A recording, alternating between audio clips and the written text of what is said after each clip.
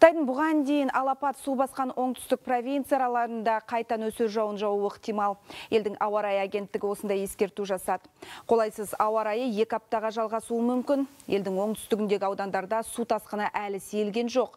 Соңғы үш күн бойы толастамай нөсер жауын жауып, үйлер, жолдар, егіс алқаптарын су шайды. Табиғи Хунань провинциясының бір ауылында 8 адам қаза тапқан. Швейцарияда да үздіксіз нөсерден кейін су басып лай көшті. Апат жайлаған оңтүстік шығыс аймақтарда жолдар жабылған. Үш адам жоғалып кетті. Танымал Цермат курорты табиғи апат кезінде сыртқы әлеммен байланысты үзген. Мұнда қала арқылы ағатын Виспа өзені арнасынан тасыды. Полиция адамдарға мейлінше үйде отыру қажет екенін ескертті.